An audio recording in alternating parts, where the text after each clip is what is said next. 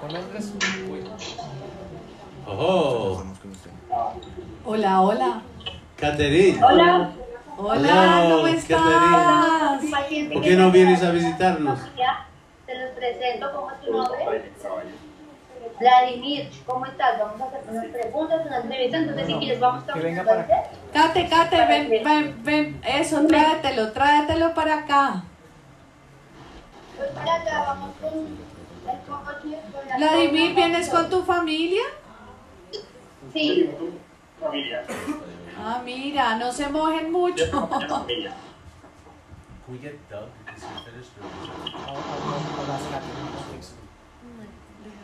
cuidado. Dale.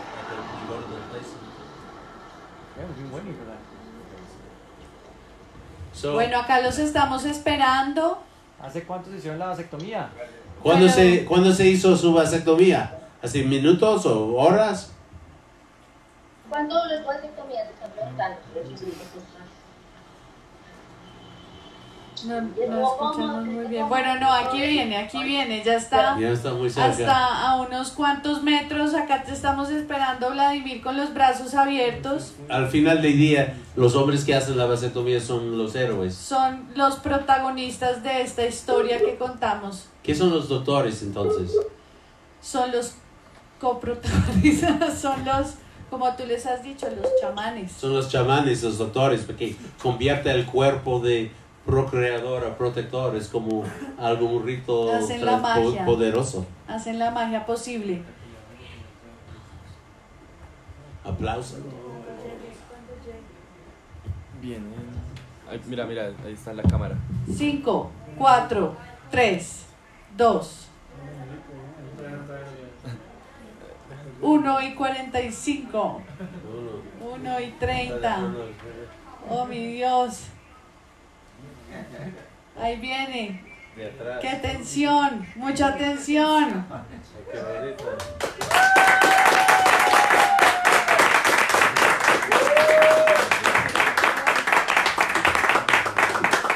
Vladimir, un gusto, muchas felicitaciones. Hola, ¿cómo estás? Un gusto. Bienvenidos, sigan por favor. Sigue, sigue en el centro. Nos- en el centro, sí. Toma el, toma el micrófono. ¿No tenemos Tres. Bueno, Sí, hay otro. Aquí, aquí. Uno ahí. En la Sí, silla. se va. Ah, sí. Señor. ¿Qué más? bueno. Hay otro.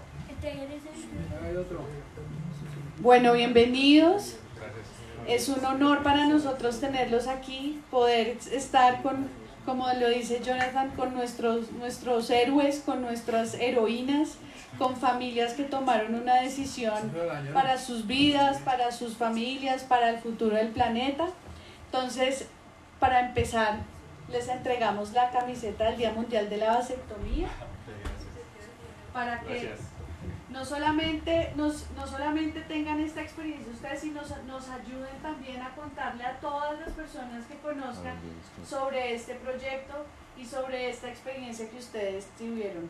La idea es que la mayor cantidad de colombianos sepamos de la importancia de la vasectomía para ese bebé cuando, cuando crezca ese bebé. Listo, entonces, bueno, nos presentamos.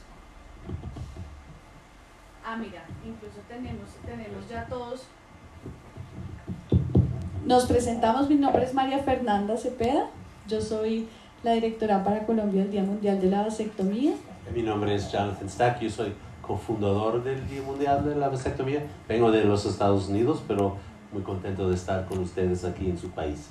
Gracias, mi amor. Bueno, Vladimir, ¿y cuál es tu nombre? Mi nombre es Jennifer. Jennifer y Vladimir, cuéntenos un poquito sobre toda esta experiencia que han tenido, cómo tomaron la decisión de, de, de, de optar por la vasectomía. Ok, eh, primeramente porque ya tenemos dos bebés. Tengo una niña de 5 años y el bebé que va a cumplir 3 meses. Entonces, a raíz de eso, eh, ella también se esterilizó. Entonces, yo tomé la decisión, si ella tomó la decisión de yo ser el único padre de sus hijos, ella va a ser la única madre de mis hijos. Muy bien, un aplauso a, a esta, a esta pareja tan, tan especial. Eh, nosotros los felicitamos, sabemos que es una decisión muy, muy importante, se me están por- saliendo un poquito las lágrimas de, de escucharlos hablar sobre este amor que se tienen mutuamente por, esta, por este compromiso con los hijos que ya tienen. Cuéntanos cómo te fue con- contándole a tus, a, tus, a tus amigos, a tu familia. Pues tengo un hermano que es escéptico, pues yo lo publiqué en, en las redes sociales, eh, le dije que yo la apoyaba en ella y que yo iba a cumplir con lo que le había prometido. Entonces de acompañarla, de, de apoyarla en la decisión que había tomado ella, haciendo yo lo mismo.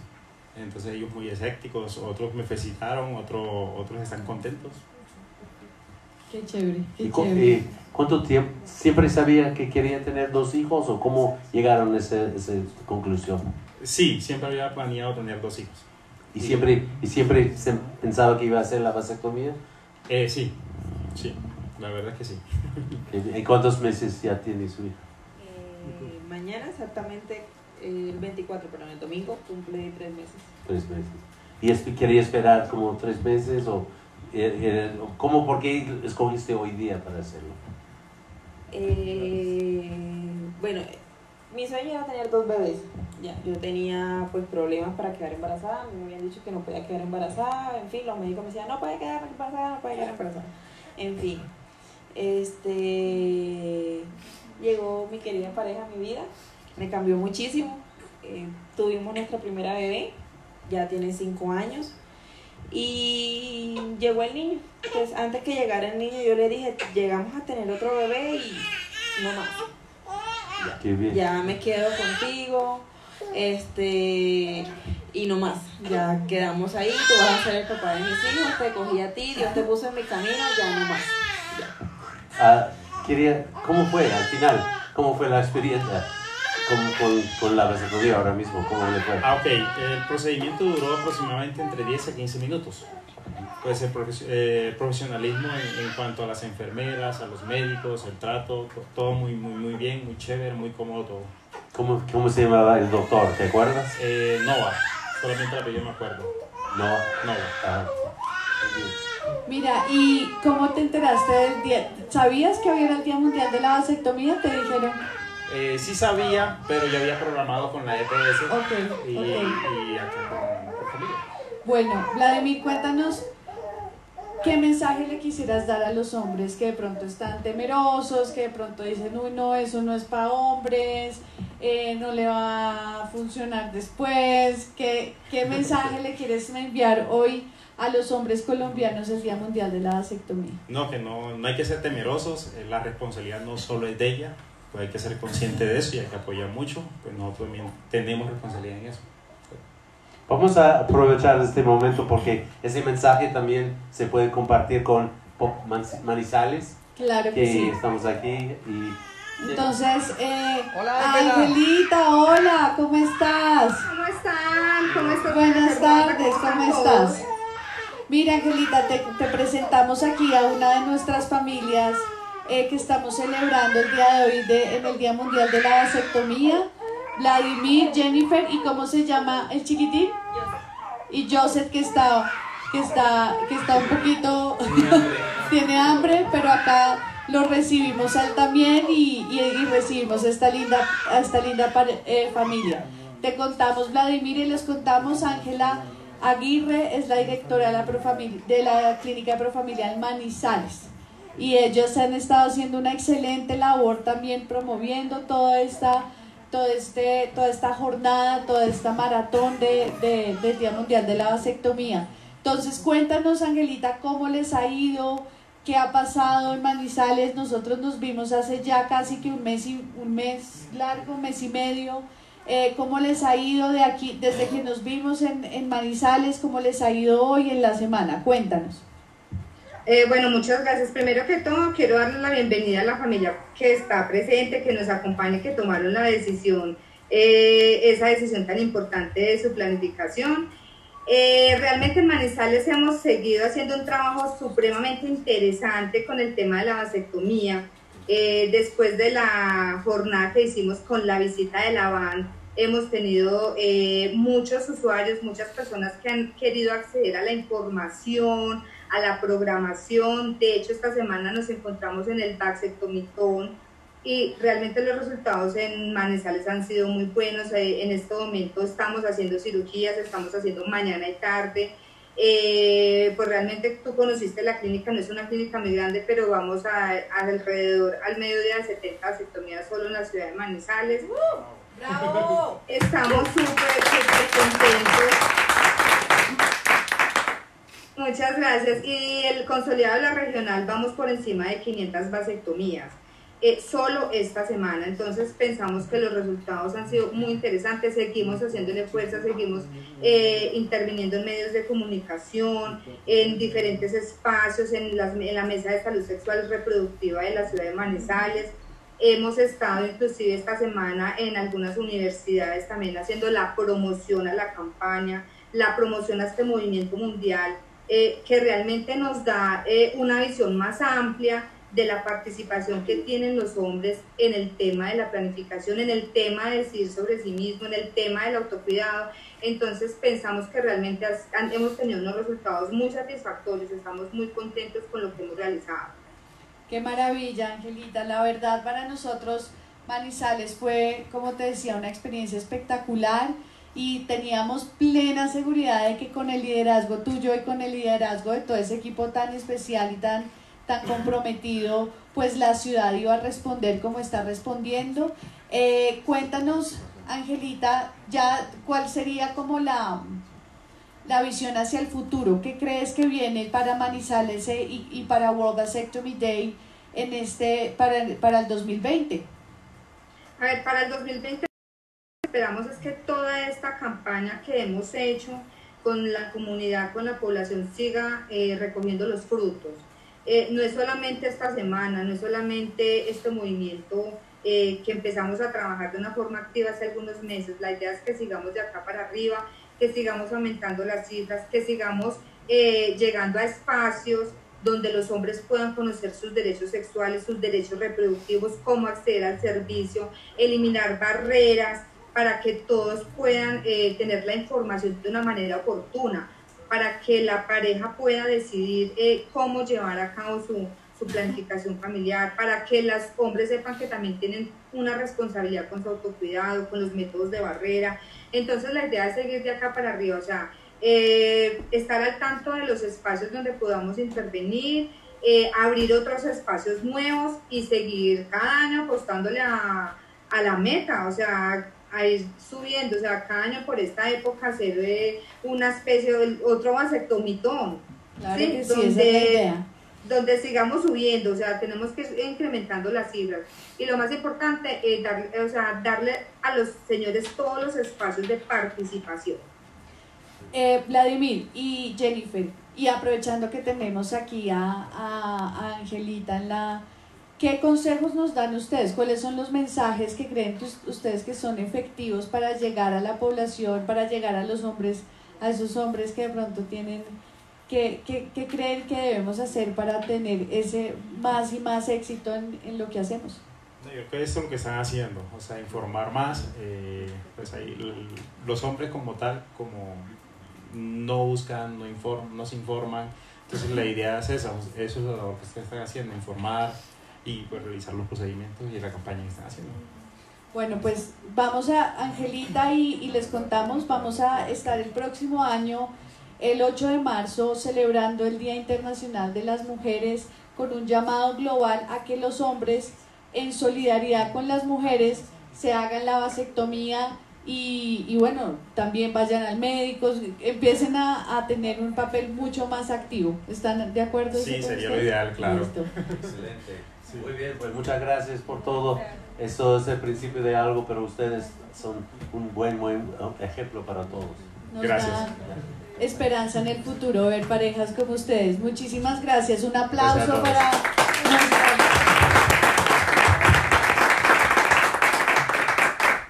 Listo. Listo, Angelita, un abracito. Muchas gracias, muchas felicitaciones. Feliz un abrazo.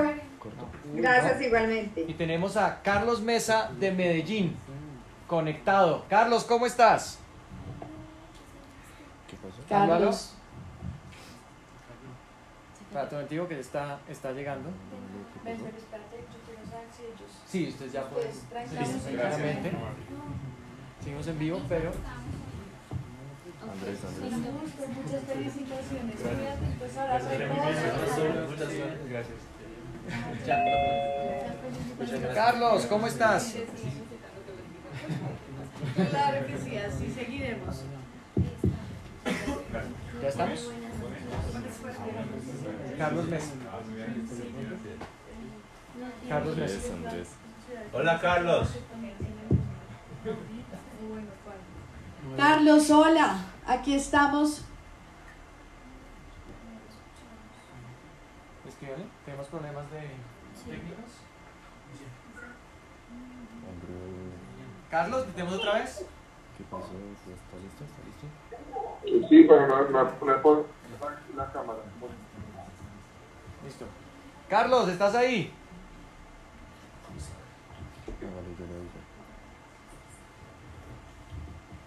Ah. Intenta. Hola, Carlos. ¿Nos escuchas? Hola, Hola Carlos, ¿cómo está?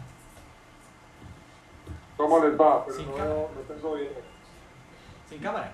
Sin cámara. Bueno, no te preocupes, Carlos. Aquí aprovechamos de todas maneras para, para conectarnos contigo, para celebrar esa magnífica labor que has hecho en, en Medellín con, en este momento, confírmanos cuántas vasectomías.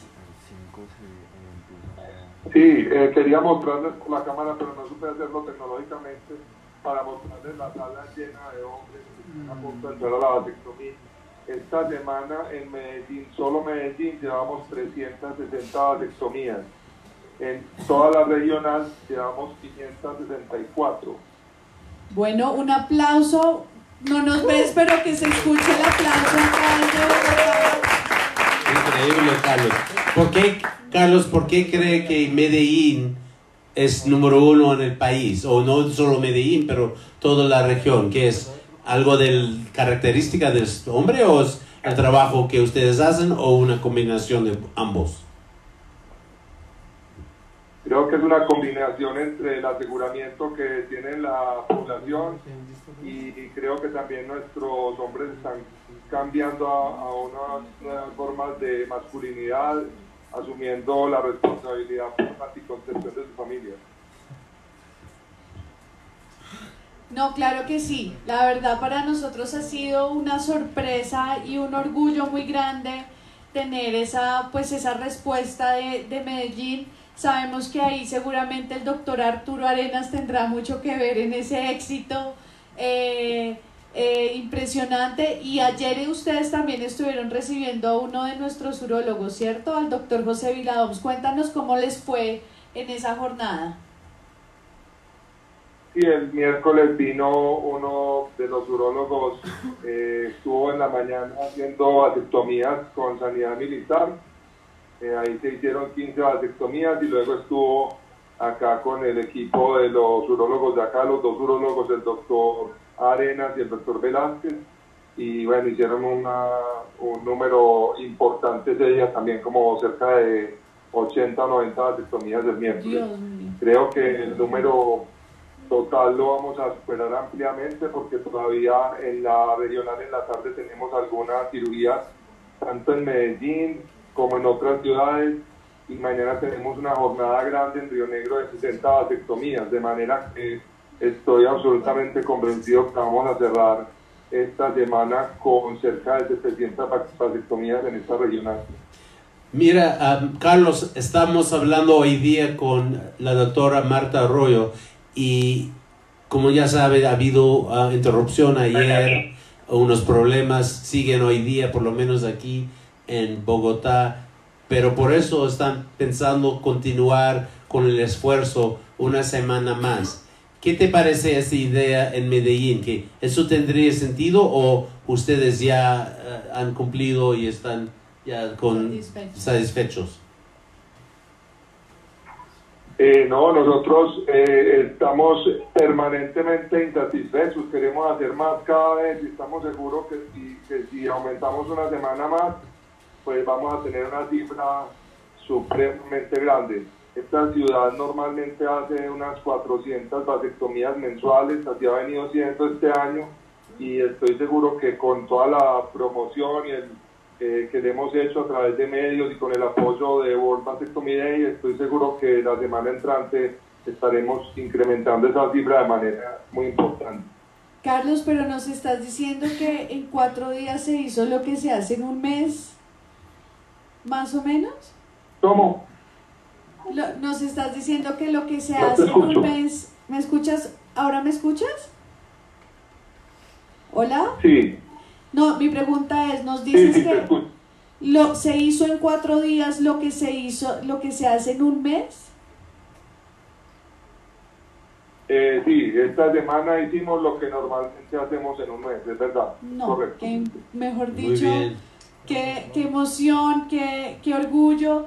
Te mandamos un abrazo grande, un abrazo a todo tu equipo, un abrazo a los urólogos, un abrazo a, a Viviana, a todas las personas que han estado detrás de esta, de esta maratón. Yo quisiera saber, vamos a ver si Medellín y la regional, ¿será que es una de las ciudades que más está haciendo vasectomías Yo en creo el que planeta? yo creo que deberíamos estar eh, la próxima vez que hacemos la sede en Colombia que lo ha- hacemos en Medellín. Sí. Además, el clima está mucho mejor. ¿Tú estás de acuerdo con eso, Carlos? Sí, la tenemos la- somos, la, cap- la- somos la capital de la vasectomía. Sí, señor, me Mira, encanta. me di- ah, tengo una pregunta, Carlos. Tenemos una idea que, que para el Día Internacional de la Mujer, en marzo, que organizamos un, mo- un- un evento global para hacer vasectomías, pero hombres haciendo vasectomía como un acto de solidaridad con mujeres. Se apunta Medellín.